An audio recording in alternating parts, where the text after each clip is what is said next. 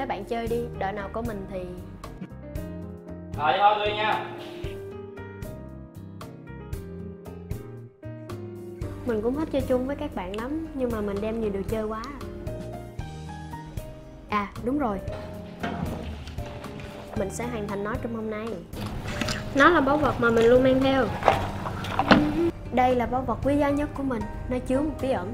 Báu vật có thể thấy mà không nhìn thấy. Giờ có nó là gì nè Hủ chi? Hi à. Ông làm gì mà ngồi nói chuyện một mình hoài vậy? Gì mà thấy rồi không thấy. Ông không biết cái gì trong này hả? Trả cho mình, trả cho mình đi mà. Trả cho mình đi. Đàn ông mà đi mê mẩn một cái hộp. Yêu đuối quá Hi ơi. Ông còn phải học hỏi tôi nhiều đó. Tôi sẽ dạy ông cách làm người đàn ông chân chính. Thấy không? Muốn thì lại đây mà giành lấy Tôi ghét bạo lực, tôi ghét đánh nhau. Trả đây, trả đây, trả đây Sao cậu cứ la hét như một đứa con gái vậy Huy? Sao cũng được, trả cho mình đi. Đủ rồi. Trả là đi chi? À, à mày muốn cái gì? Đầu năm thì Xuân Phong làm lớp trưởng. Bây giờ thì làm đau công. Có đúng không hả Vinh Phát? Không phải lao công Mà là lớp phó lao động. Đừng có hét lên nữa. Phải rồi. Đúng là tôi không được ứng cử vào vị trí lớp trưởng. Nhưng tôi là người chính trực Tôi luôn hãnh diện về bản thân mình. Không làm điều gì phải xấu hổ với bản Nếu thân. muốn á thì có thể coi nhưng mà đừng có làm bất gì đó, Luôn- nó quan trọng lắm. Tôi đang nấu thì mấy bạn phải nghe chứ. Ờ, có cái gì đâu Chán thấy mẹ. Anh Thu. Anh Hú Nếu ông thấy chán thì trả lại cho Vũ Huy liền đi. Cũng đừng có bạn mấy cái trò gì lớn hiếp nhỏ vậy nữa. Có ai hiếp đâu Tôi chỉ đang chỉ cho Vũ Huy cách làm đàn ông thôi. Ông em đi. Rõ ràng là ông ủy cho con hiếp Vũ Huy Tôi sẽ mét với thầy cho coi. Ờ, ờ, đừng đừng đừng tôi đi tôi đi Anh Thu có gì hay đâu chứ. Y như bà chặt Hở ra là lấy thầy ra hùng Đừng nói anh Hú như vậy. Gì mà ỷ lớn hiếp nhỏ Bạo lực học đường.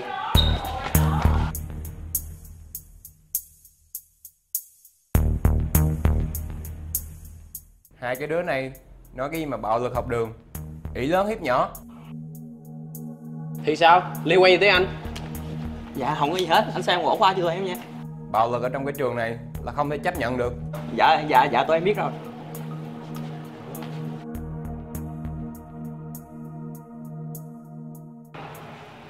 Ổng đi rồi. Mày không, mày không thở được. Mày mới khùng á Bọn mày muốn kiếm chuyện với ổng lắm hả? Ổng là Trần Sang Ở tổ giám thị Luật lệ trong trường này nằm trong tay ổng Đứa học sinh nào mà chả sợ? Mấy thằng đạo đức giả thì bản chất nó là vậy rồi. Thôi mày đừng nói nhảm nữa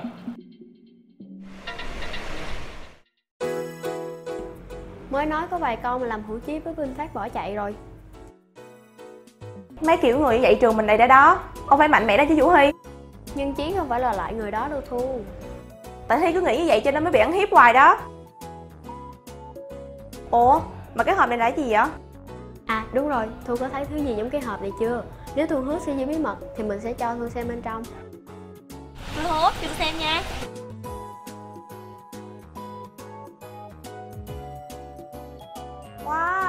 đẹp quá à.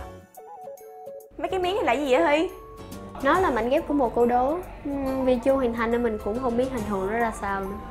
Nói cách khác, nó là thứ có thể thấy nhưng không thể thấy. Vậy sao? Nhà mình là một cửa hàng đồ chơi nên mình có rất nhiều đồ chơi từ các nước khác nhau. Nhiều người đã đồn về cái hộp này qua rất nhiều năm. Đây là món đồ quý giá được tìm thấy ở Ai Cập. Ai Cập? Đây, Thu có thấy mấy cái chữ tường hình này không? Mình đoán là nó viết về một lời nguyền. Đại loại như là ai giải được trò chơi này sẽ được một điều ước. Ôi, hình như nãy giờ mình nói nhiều quá thì phải. Mà sao thấy Thu nãy giờ không có hứng thú gì hết vậy? À, không có gì đâu. Nhưng mà điều ước của ông là gì vậy? Bí mật, không nói đâu. Cái gì vậy chí?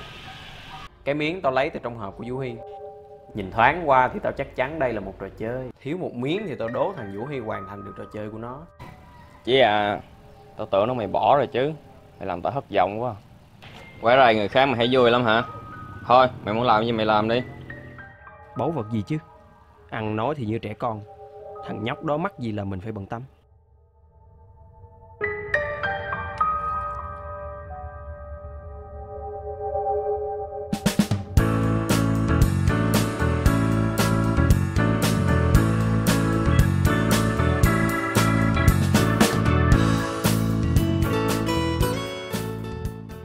Nè nhóc. Cậu là Vũ Huy phải không? Tôi là Trần Sang, làm trong tổ giám thị. Nghe nói trong lớp, cậu bị các học sinh cá biệt bắt nạt phải không? Không, làm gì có chuyện đó. Khoan đã. Thường thì người ta sẽ tự bảo vệ mình khi bị kẻ khác tấn công. Tôi đã nhìn thấy hết rồi. Kể từ hôm nay, tôi Trần Sang sẽ là vệ sĩ riêng cho cậu. Nhưng mà không có chuyện gì xảy ra với tôi cả. Ông đó làm sao vậy ta? Người gì mà kỳ cục.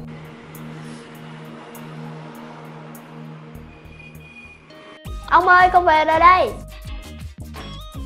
Anh Thu. Tôi đi học về xong với nhà ông luôn. Ủa Huy mới về hả con? Ờ anh Thu nữa nè. Lâu lắm không ghé chơi hen. Nay lớn bụng rồi nha. Đặc biệt là Chắc cũng 80 hen. Ông bị sao vậy trời Chuyện này là thật hả Vũ Huy Ông đã nghe anh Thu nói hết rồi. Con vẫn còn giữ món đồ chơi đó sao? Tại sao con phải bỏ nó chứ ông nội?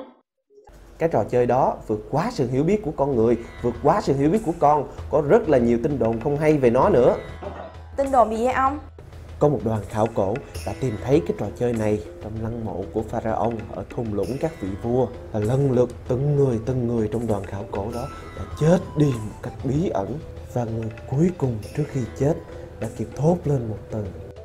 Trò chơi bóng tối. Huy ơi Tôi thấy cái trò chơi đó không có gì hay ho đâu. Trò chơi bóng tối là cái gì á? Nghe tò mò quá. Đây để ông chỉ cho con coi những chữ tượng hình trên chiếc hộp này nó có nghĩa rằng ai giải được trò chơi này sẽ có được sức mạnh và trí tuệ của trò chơi bóng tối Cháu nhất định sẽ giải lại nó cơ bản là không có chuyện đó đâu có rất nhiều người sẵn sàng trả giá cao để mua cái hộp này cho nên con phải trả nó lại cho ông thôi Không được, đây là kỷ vật mà ông cho cháu mà ông chưa chết mà kỹ vật gì ở đây muốn tôi chết lắm hả Các cháu ơi, các cháu ơi, sản phẩm hộp đựng bài trò chơi ngàn năm này ông đang bán tại website m2dealstore.com. Bên trong này sẽ được tặng một bộ ghép hình trò chơi ngàn năm mà sau khi ghép xong sẽ ra một cái sản phẩm giống giống như vậy nè. Chúc các cháu xem phim vui vẻ. Gắn vậy hả ta? Chắc phải đổi cách khác thôi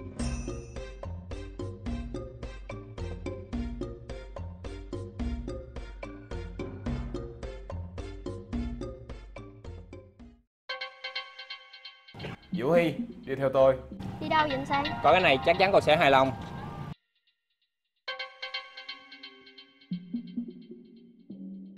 Cô Chiết, Vinh Phát Sao vậy? Chuyện này là sao? Tôi nói cho cậu biết, kể từ hôm nay tôi Trần Sang sẽ là vệ sĩ riêng cho cậu Tôi đã dạy cho tôi nói một bài học Không thể nào, anh Sang, anh quá đáng lắm rồi đó Hai bạn có sao không? Mày vui lắm đúng không? Không phải, hai bạn nghĩ là mình thôi ông làm chuyện này sao? Tụi bay chưa xong đâu Dừng chuyện đi lại Còn sao vậy? Tính bảo vệ tụi nó à? Đúng là lập dị Vậy thì cậu phải trả tiền để chuộc lại tụi nó. Dừng lại, tôi sẽ trả tiền vì bạn của mình. Là bạn sao? cậu đúng là một thằng kỳ lạ. Bạn sao? Bọn nó là những kẻ đã bắt đạt cậu đó. Chính cậu đó. Họ không thể bắt nạt tôi. Họ chỉ muốn cho tôi mạnh mẽ lên thôi. Trời đất. Này thật là kỳ cục Vũ Huy à. Vậy thì mày phải trả tiền để chuộc hai đứa này. Phí vệ sĩ là 10 triệu. 10 triệu Chỉ với 10 triệu mà mày đã có thể đập hai đứa nó thoải mái như vậy. Hay là mày chưa hài lòng? Muốn tao đập thêm nữa à? Anh đã đi quá xa rồi đó anh Sang à. Muốn gì thì nhắm vào tôi này. Mình xin Tao rất ghét bắt nạt kẻ khác. Nhưng cái này coi là cảnh cáo chứ không phải là bắt nạt.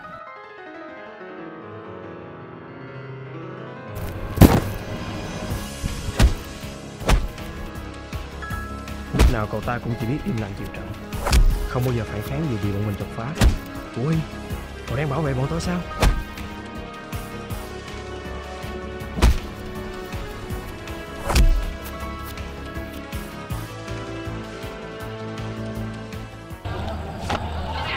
Tới đây đủ rồi. Mai nhớ đem 10 triệu cho tao.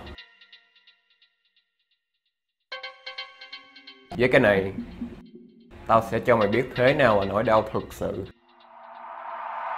Không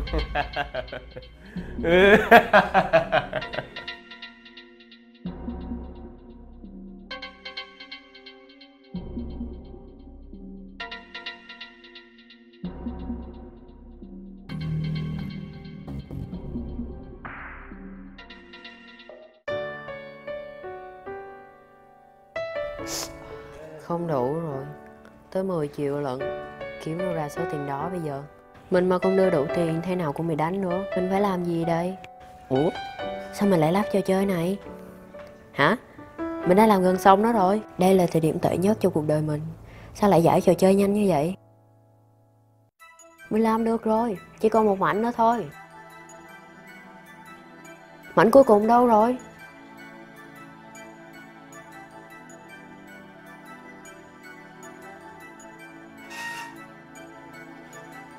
Không thấy đâu hết.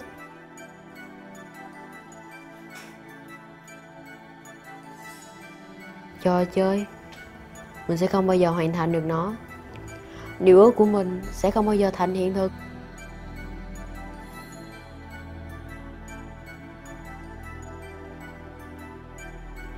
Wow, cháu của ông giỏi quá, cháu đã giải được nó rồi kìa.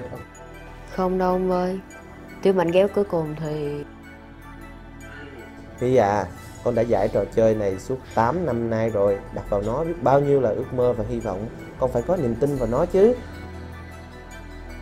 Dạ Nếu có niềm tin, ước mơ của con sẽ trở thành hiện thực. Hãy nghe lời ông. Đây, Cảm ơn ông đã tìm giúp cháu ông không phải là người tìm ra đâu. Lúc nãy bạn con có ghé, dặn ông đưa cái này cho con. Tội nghiệp thằng nhỏ, ướt sũng từ đầu tới chân. Là ai vậy ta Là ai thì cũng cảm ơn nhiều nha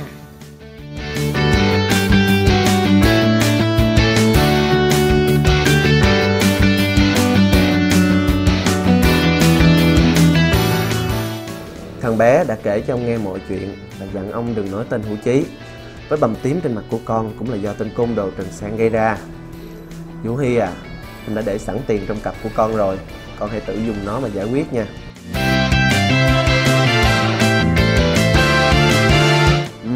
Ừ. Cháu của ta đã giải được trò chơi ngàn năm, thật tự hào. Người nào giải được trò chơi sẽ thừa hưởng sức mạnh của bóng tối đại diện cho chính nghĩa trừng phạt kẻ xấu xa đó chính là những lời đã được ghi trong quyển sách của người chết từ xa xưa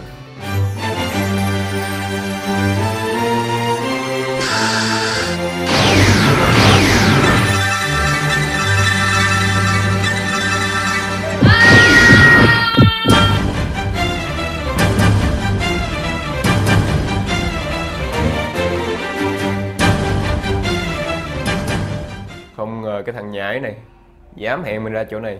Còn nửa đêm nữa chứ. Chào anh Trần Sang Khá khen cho mày Kiếm đủ tiền chưa? Mà dám hẹn tao ra đây. 10 triệu phải không? Đây là 20 triệu. Gấp đôi số tiền mà anh muốn. 20 triệu? Số tiền này mình đưa khơi khơi thì chán lắm. Hãy chơi một trò chơi đi ha. Trò chơi? Đây không phải là một trò chơi bình thường Mà là trò chơi bóng tối. Nếu thắng thì số tiền này sẽ là của anh Chơi chứ. Được Tao đồng ý. Để chơi trò chơi này thì còn một dụng cụ duy nhất Đó là con dao của anh đó. Anh có đeo theo nó không? Tôi sẽ giải thích luật chơi. Không biết nó tính làm gì với sắp tiền và con dao này. Đặt sắp tiền lên bàn tay Dùng con dao và đâm xuyên qua chúng. Số tiền mà dính vào con dao Sẽ thuộc về người đó Và để tiếp tục lượt đi Thì cần đâm nhiều hơn một tờ tiền. Trò chơi sẽ kết thúc Khi không còn tờ tiền nào nữa. Và ai có nhiều tiền hơn sẽ giành chiến thắng. Tuy nhiên nếu tự đâm vào tay của mình Sẽ bị xử thua Và đưa hết tiền cho người kia. Hấp dẫn phải không nào? Tuy nhiên, nếu ai phá luật sẽ bị quyền rủa với trò chơi trừng phạt. Được Tao đồng ý. Và tôi sẽ là người ly trước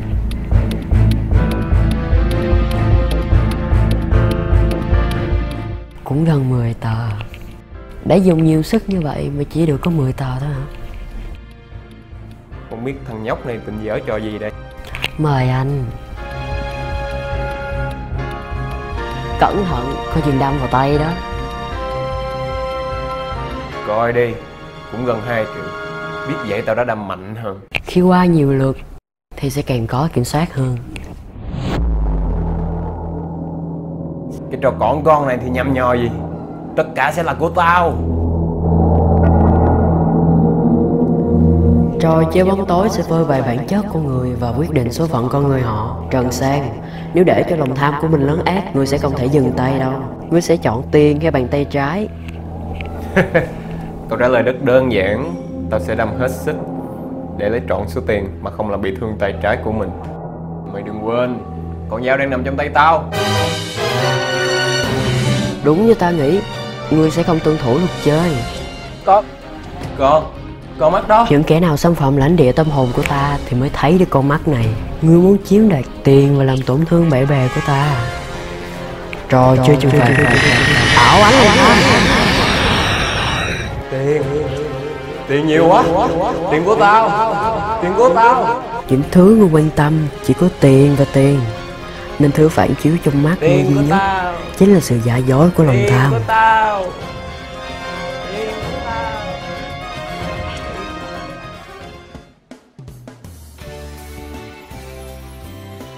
Ê Vũ Hy Của Chí, Bình thường của ông sao rồi? bình thường, còn của Chí thì sao? Nhầm nhò gì À nói mới nhớ Nè Vũ Hy Tôi cũng có một báu vật Ông có muốn coi không? Coi coi.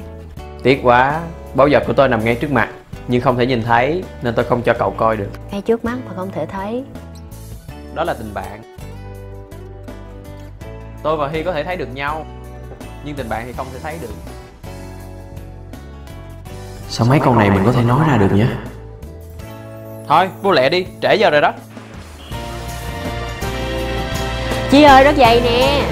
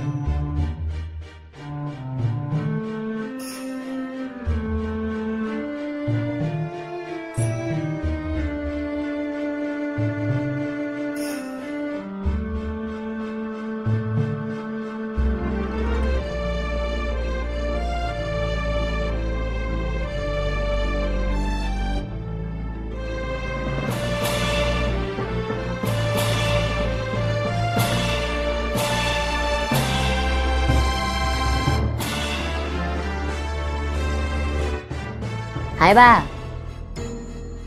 Ủa Vũ Hy giờ mới về hả? Hải ba mong bạn trả lại lá bài cho mình. Cái gì? Hồi nãy đông người nên tôi không tiện nói ra vì bạn đánh tráo. Ý của bạn nói là tôi ăn cắp đó hả? Tôi đã trả lại ngay lúc đó rồi mà cơ mà.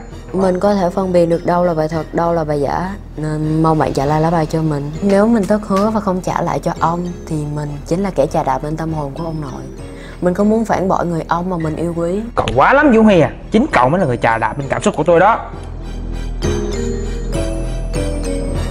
Tôi đã nói là tôi không có biết gì hết. Bộ cậu không tin bạn bè của mình hay sao? Trả lại cho mình, trả lại cho mình đi. Tránh ra. Ông yêu quý đó bài Đó là chuyện của ông. Để hắn cuộc Ta sẽ làm đủ mọi cách.